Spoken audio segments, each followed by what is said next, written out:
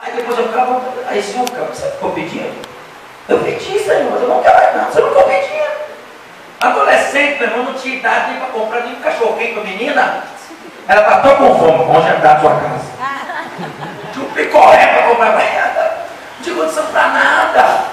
Hora que a gente está pressando a Deus umas coisas não tem condição. Mano. Tem hora que a gente tem que esperar, meu irmão. No momento certo a coisa vai acontecer. Enquanto não acontece, eu vou servindo, eu vou adorando. Mas eu sei que Deus tem melhor para a minha vida. Agora, nós esperar não é fácil. A gente mandar esperar é bom demais, irmão. A gente mandar os outros, espera, Senhor, é fácil. Agora, quando é que a gente diz, Senhor? Ai, meu Deus do céu. Esperar como? Então, a gente é, conscientizar que a gente precisa confiar no nosso Deus. O Zaqueu espera. Aí Jesus vem devagarinho, mandando. De repente o Zaqueu está assim, ó, eu vou ver ele, eu vou ver ele, eu vou ver ele. Quando o Zaqueu pensou que ia ver Jesus, foi Jesus que olhou para cima e viu ele. Ele pensou que ia ver Jesus, mas foi Jesus que viu Zaqueu. Sabe o que eu aprendo? Aquilo foi a semente dele, o levantar, o correr atrás, o passar a multidão, subir na água. Foi a sua semente. Ele falou, vou ver. Parece que Jesus estava dizendo, você semeou, agora é eu que estou te vendo. Você semeou, agora você vai colher. Você esperou, você vai colher. E nossa vida é uma vida de semente. Viver é semear. Porque tudo que eu quero colher, primeiro eu tenho que plantar. Tem muita gente que quer dinheiro. Um dia tinha uma parente da minha família que gosta de dinheiro. Tem uma parente que gosta de dinheiro. Não pode ver que perde dinheiro. Aí eu falei, fulano, você gosta muito de dinheiro, você tem que trabalhar. Gosta de dinheiro, mas não pode trabalhar. Toda hora que vem que é dinheiro, eu falei, minha filha, eu gosto. Ah, então você tem que correr atrás. Então, pô, seu banco não. Se você gosta de uma coisa, tem que ser real. Ah, tem gente que gosta, mas não pode ver. Você parece um caixa. Vem aqui cortar cabelo ali. Me faz dinheiro aí no centro ali. Me faz dinheiro e não trabalha também não. Então você tem que prestar para sumir logo. Só para um dia. Mas se eu quero, meu irmão, alguma coisa eu tenho que semear. Semear. Tanto na igreja, tem gente que, que quer prosperar. Mas é assim, ó. Quando eu falo da oferta, e, e, na, minha igreja, colhe oferta é assim, ó, aqui, ó. De banco em banco. Tem uns irmãos que ele não dá um glória a Deus, não fecha oi para nada, nem se pagar ele. Mas quando vem colher oferta, ele fecha oi na hora. Oh, que louco! Só vontade. Aqui, ó. Meu irmão, se eu quero dinheiro, tem que semear dinheiro e Deus prospera. Eu sei que se tem duas coisas complicadas que o crente fazer, é jejum e dar dinheiro. Porque esse negócio de falar para o crente que ele não vai comer, meu irmão, dá tortura para ele e falar de arrancar proteína da tortura. Mas o que me transformou, minha vida me transformar, foi quando eu aprendi a semear, porque a semente não veio, ela realmente ela brota. Brota. Ano passado, quando entrou a crise, minha renda deu uma quedinha assim de uns 40% de Jesus. Tem misericórdia. O que, que eu vou fazer? Sabe o que eu fiz? Eu aumentei o dízimo de 10% para 15%. Meu irmão, Deus abriu porta onde não tinha parede. Amém. Isso aqui eu não estou contando para você, para fazer você dar dinheiro. Estou falando o que aconteceu comigo. E eu ouvi um testemunho, achei interessante. Falei, vou fazer também. Deus abriu porta onde não tinha parede. Aleluia. Se gosta de dinheiro, precisa, aprende a semear. Às vezes você vai falar assim, olha, eu lembro que a primeira semente que eu dei foi de mil reais. Mil reais hoje para mim já é muito. Isso foi mais ou menos há uns oito, oito anos atrás. Eu estava na sede, na rua São Paulo, nessa sede da Assembleia de Deus. Eu estava juntando dinheiro para gravar o primeiro CD da minha esposa ou da entrada no carro.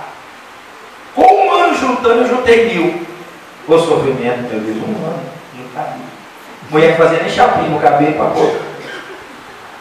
Eu estou lá na sede, de repente o pastor que pregou, nosso presidente na época falou que liberou ele para tirar uma oferta para colocar um telhado na igreja lá em Martinho Campos cidade do interior. Aí eu, ele foi pedir, meu irmão, eu pensei que ele pediu 100, 50. Quem pode dar mil? Sabe quando você que não está no culto? Nem estou aqui. Eu tinha um mil lá, né? Quem pode dar mil? O Espírito Santo veio no meu coração e falou, dá os mil. Eu, meu Deus, o inimigo está por aí. Estou falando, sabe? Uma peleja para me Uma peleja. para me dar. Eu dei. Eu fiquei um ano para juntar mil, por sete meses. Eu tinha dado entrada de 3 mil no céu e já tinha gravado o CD da minha esposa. Paguei o Celta, depois troquei, comprei o Classic, paguei o Classic, depois troquei, comprei o Lídia, paguei o Lídia. Agora estou com o Corolla. É simples, 2006. Mas eu falo assim, você confiar, Deus abre porta onde não tem parede. Outra vez eu estava na igreja batista, ali próximo ao cemitério, e o pastor pediu oferta, não, começou a campanha para comprar o lote. De novo os mil, meu Deus do céu, tentação. Aí nessa vez eu já estava mais ousado. Falei, Senhor, eu preciso da casa própria, Senhor, mas o milagre é minha. E semeei os mil. Hoje eu estou com a casinha simples, mas compra e paga para a glória do Senhor. Vale a pena. O que você quer receber, você tem que aprender a ser. Tem marido que quer chegar em casa que a mulher deu um cheiro nele, um chaminho nele. Mas não semeia nada. Mulher às vezes está lá com aquelas roupas aí, jogar fora. O camarada não veste nada. Mulher tem que ficar pedindo, implorando. Me dá dinheiro. Por você quer dinheiro? Para quê? Para quê, irmão? Para dar para os pobres? Para subir na torre, para jogar fora? Não, meu irmão, precisa. Amanhã eu vou na zona agenda, minha esposa, eu falei, a oferta amanhã é tua, minha nega. Aí ela, precisa não, a casa é não, aleluia. Mas não precisa, precisa. O que você quer? Às vezes o cara quer um carro, então dê, meu irmão. Eu acordo de manhã com minha esposa, já olho para cima, às vezes ela levanta para. Já olho, a cara tem ela. Não, às vezes não dá não, meu irmão, eu dou. Eu levanto, dá um beijão, eu não Agora tem gente que acorda cedo. Ah! Hoje eu matei dentro dessa casa, hein? Ah, meu irmão, tem que ver que aguenta desse, não. Você quer carinho, tem carinho. E pra mulher também. Às vezes acordou o maridão, chega lá, ah, pega aquilo é um vaso, calça seco. Profetiza sobre esses vales, irmão. Vale de seco, ouve a palavra. Profetiza, acorda. Agora que eu estou de bobeira, minha esposa, eu estou no quarto estudando, ela chega com um cafezinho novinho. Aqui que eu tremo até não. Hum, meu Deus. Aquele cheiro assim, ó. Falei, o que você está querendo, né? Direto, surpresa. Tem dia que eu sei caladinha, ela sai caladinha compra quiabo, eu amo frango, quiabo. Aí ela vai, chega em casa, aquele cheiro assim, que o prédio está todo, o povo passa na porta, opa, cheiro gostoso é esse. Ela está semeando. O que você quer colher? Você tem que semear. Você quer carinho, você vê carinho. Quer amor, você vê amor. Compreensão, compreenda. Porque a gente precisa, a gente tem que semear. O Zaqueu, ele correu, ele semeou. Quando Jesus olhou para ele e falou assim: Zaqueu, desce depressa, porque hoje me convém pousar na tua casa. Hoje me convém pousar na tua. Olha que Jesus disse: É hoje. Jesus Hoje me convém pousar na tua casa. Ele desce alegre, volta para casa alegre, chama de lá, Jesus. O povo ficou murmurando contra ele. Ele queria saber o que estava acontecendo lá fora. Ele queria saber de quem estava dentro da sua casa. Ele se alegrou, recebe a palavra, recebe a salvação. A mão no bolso e muda de vida. Ele falou: Senhor, a quem eu defraudei, eu vou restituir quatro vezes mais. E metade dos meus bens, do meu dinheiro, eu vou distribuir com os pobres. E Jesus falou: Hoje houve salvação nessa casa. Aleluia. Olha o que Jesus estava dizendo. Hoje houve mudança. E o Zaqueu mudou. Sabe o que eu encerro essa mensagem dizendo para você? Nunca é tarde para mudar. Nunca é tarde para tomar decisões novas. Nunca gente melhorar. Irmãos, a gente pode melhorar todos os dias. Eu quero melhorar. Eu estava pregando, viajando demais. Meu Deus, eu preciso passear mais. Eu com a minha família. Aí essa semana nós fomos no zoológico. O perigo de eu ir no zoológico é deixar embora. Não, você pertence aqui, meu filho. Não, gente, eu não. Aí eu fui no zoológico. Meu irmão, eu fui no, no aquário. Foi o lugar mais maravilhoso que eu já fui na minha vida.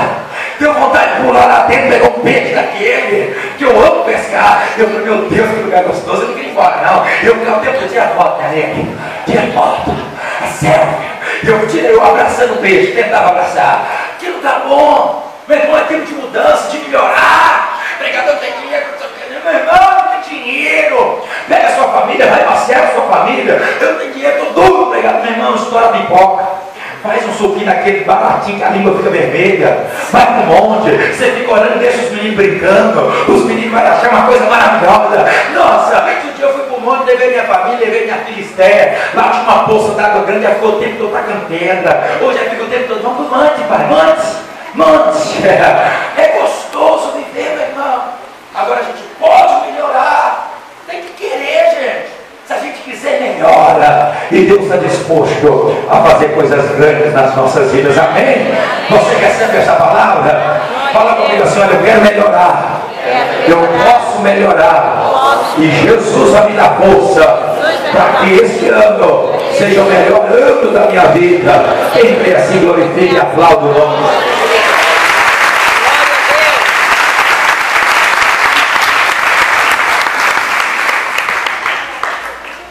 Glória a Deus, irmãos. Amém. Qual tempo? Amém.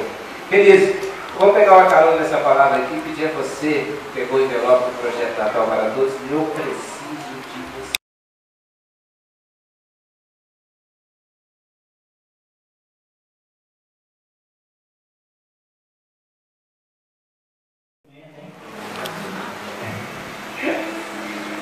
Pode vir. Ei, Rona, está no chiqueiro hoje. Vamos orar ao Senhor. Aleluia.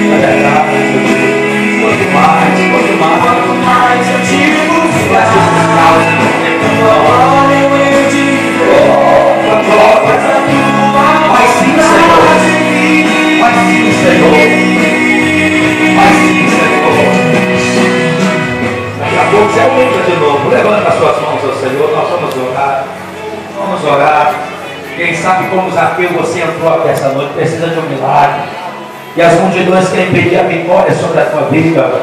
Mas eu vim dizer para você, persevera como Zaqueu, luta, vai adiante, corre atrás sobe na árvore, a árvore hoje é essa igreja. Você está na árvore, crendo que o milagre vai acontecer. Quem sabe não aconteceu, mas faça como Zaqueu espere. Abra tua boca agora. Apresenta a tua causa perante o Senhor. Louve ao Senhor. Adore ao Senhor. Pai, eu oro junto da tua igreja agora. Aqui tem mães orando por filhos, pais orando por filhos. Aqui tem esposa orando por marido, marido orando por esposa. Aqui tem, meu pai, funcionários orando pela empresa. Aqui tem patrões orando pelos funcionários, pela empresa, pela obra. Aqui tem crente querendo mais da tua glória, da tua presença. Pessoas que estão desanimadas e precisam ser renovadas. Pessoas que estão doentes e precisam ser curadas. Pessoas que entrou amarguradas e precisam do toque do teu espírito. Ó oh, Pai, eu creio que a tua presença está sobre nós e ao nosso redor, que a tua glória está sobre esta igreja. Eu te peço nesta hora, toca o teu povo. Ó oh, Deus, eu venho na autoridade do nome do Senhor Jesus. Eu quero toda a retaliação de Satanás, toda obra do mal, Senhor, entende contra essa casa, essa família, esse espírito que tem causado discórdia tristeza, angústia, que não deixa a vida dessa pessoa caminhar, Senhor. Ela tenta orar e às vezes não consegue, ela tenta ler a Bíblia e não consegue, ela tenta frequentar os cultos regularmente e não consegue, ela tenta ser fiel à esposa, ao marido e não consegue. Ó Pai, essa noite as cabeças estão sendo quebradas, ó Pai, essa enfermidade, essa dor de cabeça, essa doença, essa insônia, ó Pai, venha cair por terra nesta noite, ó Pai, o Senhor venha trazer restauração, essa pessoa que está desempregada, ó Pai, vezes parece que a porta vai abrir e na última hora acontece alguma coisa e a porta fecha, ó Pai, isso que está travando na vida dessa pessoa vai ter a porta hoje, hoje, hoje, hoje, Pai, porque eu creio que o Senhor está quebrando cadeia, está movendo a respeito dela. Eu creio que o Senhor está movendo lá naquela empresa, está abrindo aquela porta e essa pessoa vai tomar posse da vitória. Ó Pai, essa experiência que essa família está passando, alguém está pensando que é mal, mas vai ser para testemunho dentro daquela casa, dentro daquela família. Age com a tua graça, ó oh, Pai, abençoa as crianças dessa família, que as crianças cresçam no temor do Senhor. Abençoa os jovens dessa casa, que sejam homens e mulheres de Deus, os que estão afastados que voltem. Ajude esta família agora, renova, abre a porta, traz alegria, traz alegria nesse casamento, opera, opera para a glória do teu nome, opera pelo poder da tua palavra. Assim nós oramos, ó Pai, e nós ministramos a vitória sobre essas vidas. Agora, por favor, pega na mão de alguém do teu lado, pega na mão dela, pega na mão dele, fala para a senhora, hoje, convém a Jesus entrar na tua casa, operar na tua casa, operar na tua família. E se você crê nisso, levanta as suas duas mãos, aplauda o nome do Senhor Jesus. Aleluia. Aleluia. Aleluia. Aleluia. Amém, Pai, Filho povo. Amém. Levanta as suas mãos. Tá? Que o grande amor do Pai, a graça do nosso Senhor Jesus Cristo Filho e as doces comunhão do Espírito Santo sejam sobre toda a igreja, hoje e sempre. Toda a igreja diz: Amém. Vou em paz, os abençoe.